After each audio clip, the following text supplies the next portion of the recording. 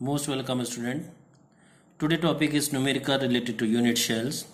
The first question is a compound of element x and y having a FCC lattice of x at a corner and y at each face. Find out formula. So x is into x uh, subscript 8 is to 1 by 8 and y is a face centered यानी कि 6 into 1 by 2 S X एक S C C पे है, यानी उसकी rank eight into one by eight है, मालूम हम लोग को। वाई यानी कि जो एफ़ सी सी है, उसकी रैंक है six into one by two so formula become X Y three after that I am coming the next question next question is three element P Q R in a cube lattice a p atom at the corner of cube, q atom at the body centered and r at the face centered. Find out the formula. So P is SCC, it means 8 is to 1 by 8, rank means 1. Q is BCC means 1 and R is equal to FCC into 6 into 1 by 2 means formula become PQR3.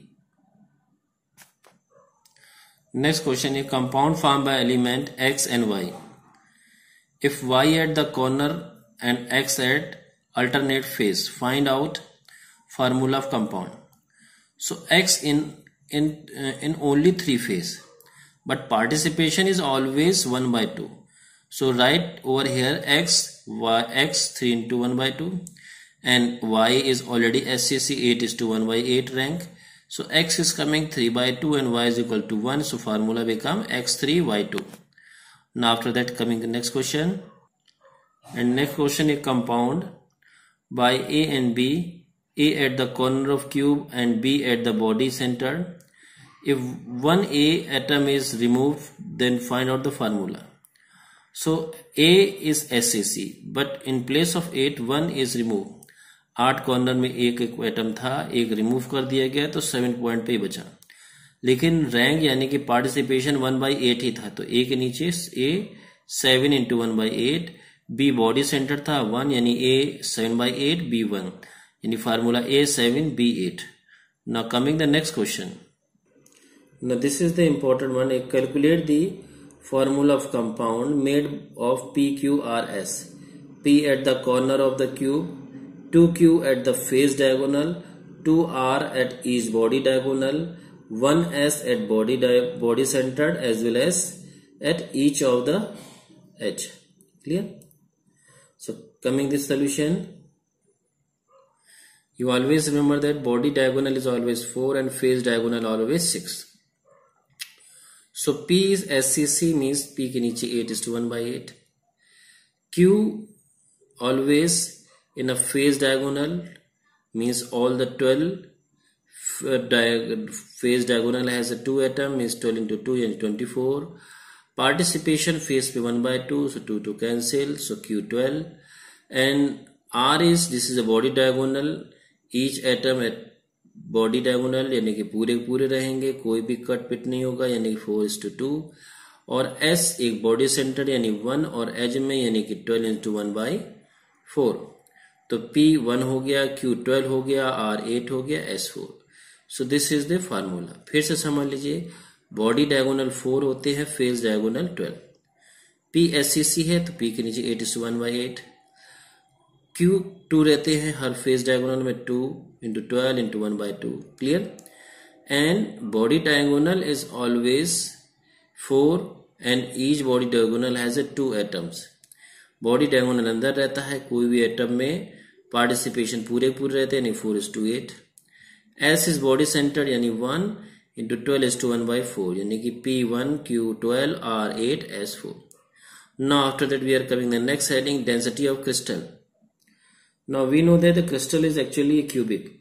So density we know that mass upon volume. But here the unit shell, so rank must be there, so Z into M.